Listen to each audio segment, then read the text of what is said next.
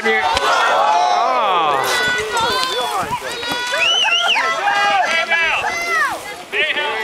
Ah. So Scott Lembach. I thought Chance knocked him out, but Scott's in there. Uh, messed up, man. I thought he was the guy that got eliminated.